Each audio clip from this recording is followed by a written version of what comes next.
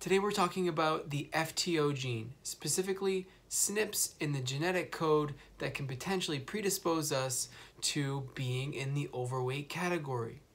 Welcome to the DAMY vlog. My name is Dr. David Duizer. I'm a naturopathic doctor and the medical director at damyhealth.com. On this show, we cover all things holistic health and wellness related. If you're interested in holistic well-being, please subscribe for more videos like this one. So, on the show recently, we've been talking about genetic health and what it means to have SNPs at specific on specific genes, um, and actually what a SNP is. Well, there now we're going to dive into what different genes do and how when they're expressed differently, they can affect our lifestyle in general. One gene is called FTO. We're covering FTO today because it's very important in holistic weight loss. If you have a SNP at the FTO gene, uh, there are three locations that have been studied on the FTO gene, but most uh, calculators that uh, assess your genetic data will spit them out and tell you where you stand, regardless of which uh, area you have a SNP uh, at. So if you have a SNP on the FTO gene, there is an increased risk of obesity. Now, this has been studied in large trials. Uh, they have taken people, they have taken huge groups of people who are in the obese category and taken uh, huge groups of controls, tested the genetic code, and found SNPs in the overweight in the overweight and obese category uh, consistently at the FTO gene location, and um, have had so we have significant data to correlate this gene with obesity. The question still remains: Why is this happening? Why are people who have SNPs, uh, FTO SNPs, more overweight? Uh, so the current thought is that because of the location of this gene's activity, that it's probably due to overeating. It's probably due to decreased satiety after meals as well.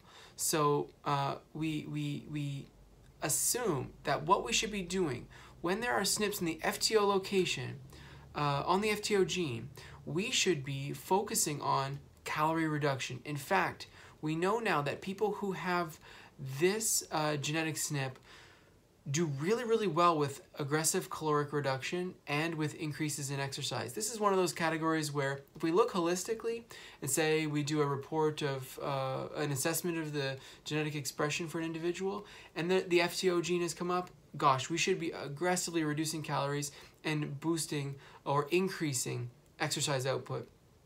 People with this SNP do really, really well with uh, lifestyle modifications in general. So um, the way to figure out if you're in this category, basically, if you do a genetic test like say 23andMe or Ancestry.com, and you work with an integrative practitioner like myself uh, who deals with genetic health, you can find out if you have SNPs on the FTO gene.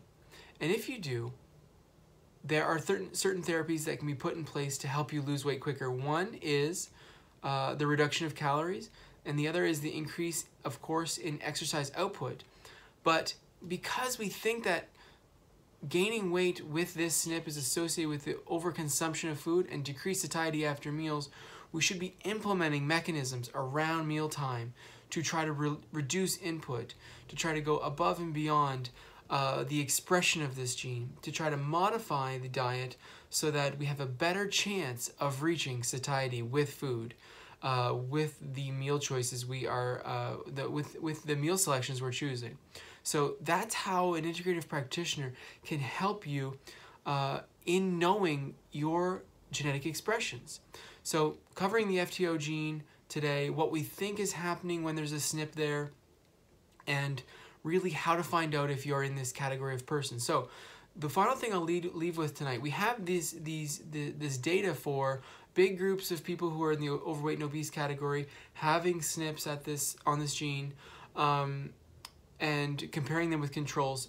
But what's interesting about this data is then researchers have looked at what about their siblings and specifically sisters.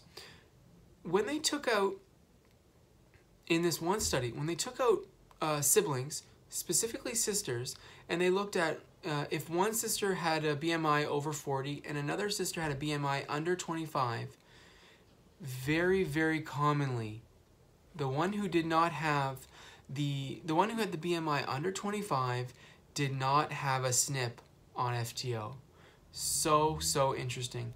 So we have these uh, family members who assume they're living the same lifestyle, who have grown, grown up in the exact same household, one who has uh, reached a state of uh, overweight and obese BMI uh, status, and one who has maintained a healthy weight seemingly without effort for many, many years. And then we look at the genetic code and oh shoot, the one in the obese category has a SNP on FTO. Okay, now we have some answers. At a baseline, we know that there is decreased satiety with meals with FTO. That's really the extent of it. We know there are some DNA methylation issues uh, with FTO SNPs. We don't really know how that relates to obesity um, yet. If you're familiar with this and you do know, please let me know in the comments. But um, at, a, at a baseline, we're doing therapies and lifestyle modifications with FTO SNPs to try to reduce caloric intake, especially um, around meals. And uh, we're trying to boost satiety with food uh, to make sure that caloric intake is down. That's my spiel on the FTO SNPs. If you're interested in genetic health, leave your questions in the comments below. Subscribe to our channel. Have you had your genetic code assessed? Have you had, first of all, have you had 23andMe or Ancestry.com done? If you feel comfortable sharing your story of the FTO gene, what you've experienced, what category you're in, please let us know in the comments below. I'd be so thrilled to find out what you have learned from your genetic assessment and what you've done to try to mitigate this SNP, to try to get your body weight down into a normal range, and what has worked and what hasn't worked for you.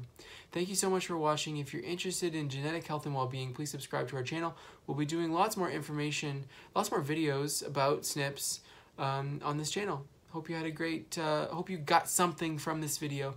And if you do have the FTO SNP, one of the three, there may be more, one of the three that I'm familiar with, uh, consult with your integrative naturopathic doc or medical doc to try to figure out ways to reduce the uh, negative effects in terms of metabolic effects uh, when you do have this SNP. Thanks for watching. Hope you have a great day.